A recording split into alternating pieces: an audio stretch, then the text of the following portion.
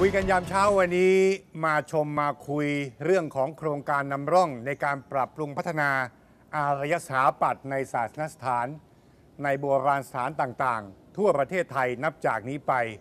โดยกระทรวงวัฒนธรรมเพื่อคนทั้งมวลครับ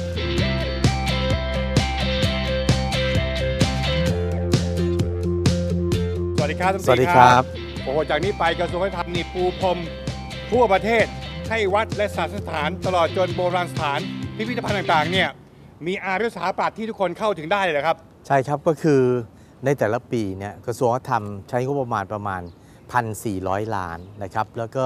บรณะทั้งวัดที่เป็นโบราณสถานอย่างอยุธยาสุโขทัยนะครับที่เป็นมรดกโลก แล้วก็วัดที่ยังมีการใช้ประโยชน์อย่างต่อเนื่อง อย่างที่เรามาที่เนี่ยก็คือวัดประยุรวงศาวาสเป็นวัดที่สร้างในสมัยรัชกาลที่ 3 นะครับอายุก็ประมาณ200กว่าปีก็นะครับประมาณเกือบ 200 ปีอ๋อครับ ครับ วัดนี้ก็ถือว่าเป็นวัดแรกที่เป็นโครงการนำร่องของโครงการนี้ใช่ไหมท่าน ใช่ตีครับก็เอ่อจริงๆ แล้วทั่วประเทศเนี่ยเรามีโบราณสถานเนี่ยถึงประมาณ 9,000 กว่าแห่ง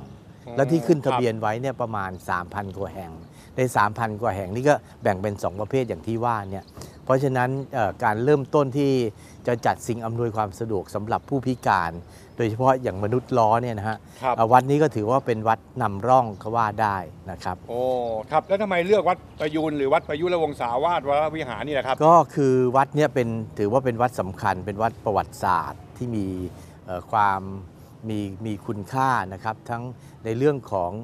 เอ่อเอ่อเอ่อสถาปัตยกรรม ศิลปกรรม ท่านเจ้าอาวาสเนี่ยท่านก็ให้ความสำคัญในเรื่องนี้ และในอดีตวัดเนี่ยก็ถือว่าเป็นวัดเอ่อที่เป็นเอ่อวัดหลักในการจัดเทศกาลในวัดครับนะครับมีงานวัดต่างๆ ในฝั่งทนเนี่ยก็จะจัดกันที่นี่ แล้วก็โดยรอบครับตรงเนี้ยเอ่อปัจจุบันเนี่ยเป็น สถานที่ท่องเที่ยวนะครับก็คือเออนอกจากวัดประยุรวงศาวาสเนี่ยบริเวณชุมชนเนี่ยก็ยังมีทั้งโบสถ์คริสต์ก็คือโบสถ์ซันตาครูสแล้วก็มีศาลเจ้าครับจีน แล้วก็มีมัสยิดของมุสลิม เพราะฉะนั้นก็มีถึงชุมชน 4 ศาสนาด้วยกัน และตอนเนี้ยครับทางกระทรวงก็เข้ามาร่วมมือกับชุมชนในการปรับปรุงให้เอ่อบริเวณชุมชนเนี้เป็นแหล่งท่องเที่ยวที่สำคัญ โอ้นี่ฮะน่าสนใจมาก เดี๋ยวไปชมนะครับว่าที่วัดประยูนแห่งนี้เนี่ย ทางกระทรวงวัฒนธรรมได้เข้ามาช่วยในการปรับปรุงพัฒนาเรื่องของอารยสถาปัตย์เฟรดีไซน์อย่างไรกันบ้างครับ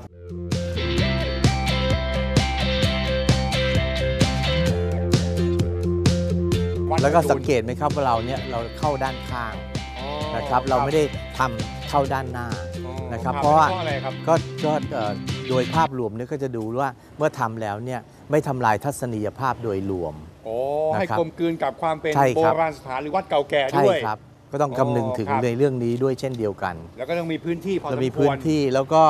เอ่อไม่มาทำลายอย่างการติดตั้งเนี่ยเราไม่มีเอ่อการยึดเกาะกับตัวโบราณสถานเลยโอ้นะครับแล้วก็นี่ครับ แม้ว่าเราจะดูว่าถาวรเนี่ยแต่โดยจริง ๆ แล้วหากมีความจำเป็น ก็สามารถที่จะยกออกมาได้นะครับโหรือจะมีการนี่สำญเลยนะใช่ครับ นี่ฮะ หรือแม้ว่าจะมีการบูรณะโบราณสถานเนี่ยเราก็ยกออกมาได้โอ้นี่ฮะ เป็นหลักการออกแบบนะฮะปรับปรุงให้สอดคล้องแล้วครัก็บไม่ไม่ทำให้วัตถุหรือว่าโบราณสถานเก่าครับ แก่เนี่ยเสียหายไม่เสียหหารือว่ายผิดรูปลักษณ์ไปครับอะไรเนี่ยอย่างเงี้ยแบบะครั น็อกดาวน์เลย โอ้ นี่สุดยอดเลยแต่ว่าประเด็นสำคัญคือนี่ฮะทุกคนทุกเพศ ทุกวัย ทุกสุขภาพร่างกายก็จะสามารถเข้าถึงวัดและศาสนสถานต่าง ๆ ได้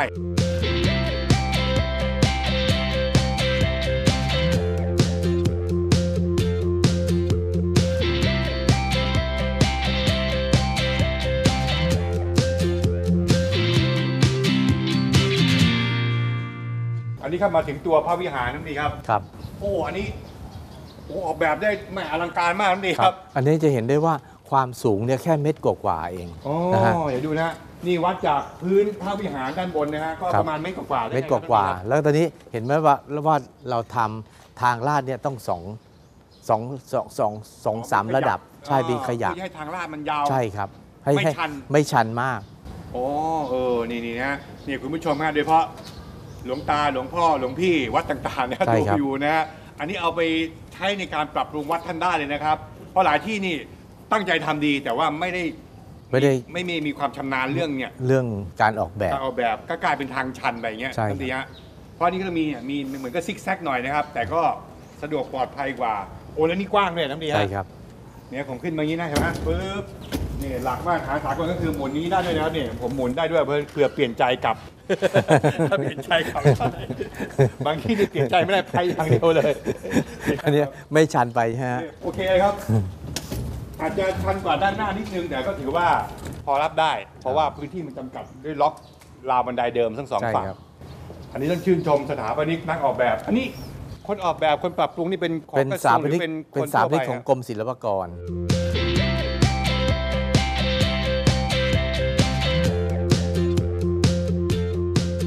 ธรูปครับ ก็มีความงดงามมากนะครับอ๋อด้วยครับพุทธศิลป์ที่สง่างาม โอ้โหครับนะครับ นี่ผมก็เพิ่งเคยมาชมกันนะครับ ใช่ครับ แล้วตรงนี้ก็เป็นโบราณสถานก็อย่างที่เรียนนะครับก็จะเป็นบันไดแบบโบราณ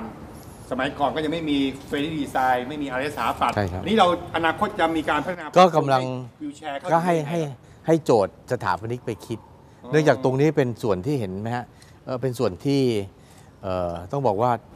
เป็น บานประตูแบบโบราณนะครับทางเป็นวัดก็เอาพลาสใช่ติกครับแข็งมาครอบไว้กัน แม้แต่ฝนแบบพื้นตรงนี้ยังอืมกันไว้นะฮะตรงเนี้ยครับเพราะฉะนั้นเดี๋ยวจะทำตรงเนี้ยให้ไปคิดโจทย์มาว่าทำยังไงถึงจะให้มนุษย์ร้อนเนี่ยเข้าไปในนี้ได้ค